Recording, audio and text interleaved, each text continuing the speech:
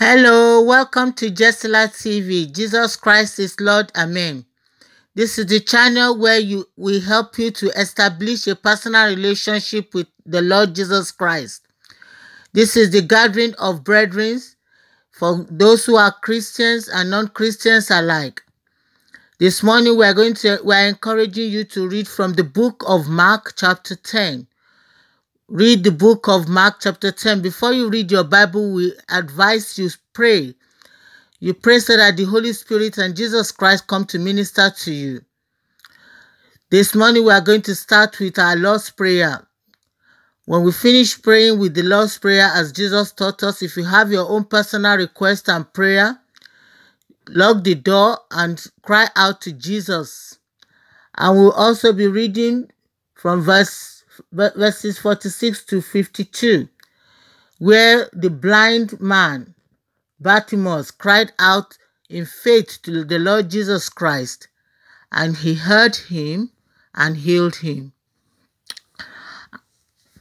we start with the Lord's Prayer.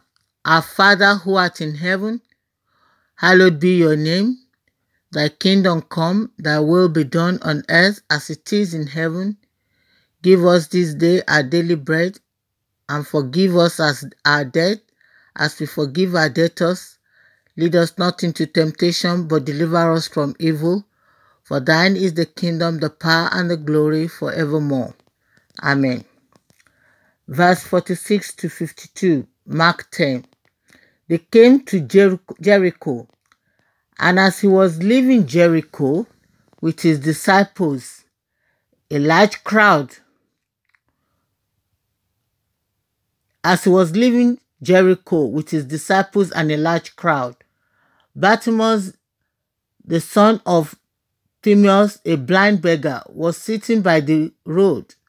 When he heard that it was Jesus the Nazarene, he began to cry out, Son of David, Jesus, have mercy on me.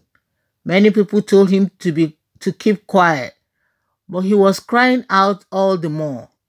Have mercy on me, son of David.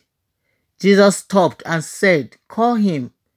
So they called the blind man and said to him, Have courage. Get up. He's calling for you. He threw off his coat, jumped up, and came to Jesus. Then Jesus answered him, What do you want me to do for you? Rabboni, the blind man told him, I want to see. Go your way. Jesus told him, Your faith has healed you. Immediately, he could see and began to follow him on the road.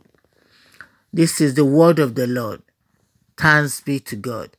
I pray that you will have the courage and faith to cry out to the Lord and ask Him to help you. Ask Him to come and heal you.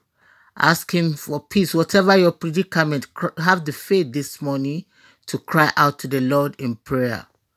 God bless you.